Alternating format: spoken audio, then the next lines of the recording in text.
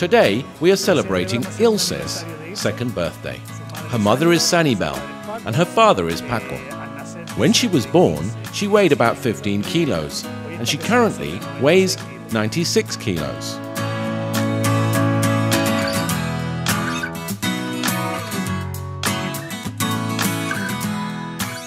Now, she eats nearly 2 kilos of fish a day. However, until she was 6 months old, she was only fed on breast milk. Then we introduced fish into her diet. She eats three types of fish herring, caplin, and sprat.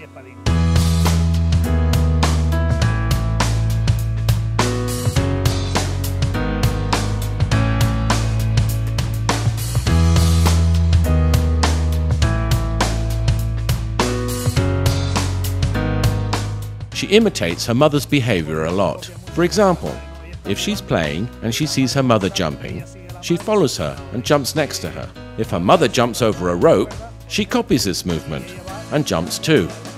And this is in all aspects of her life.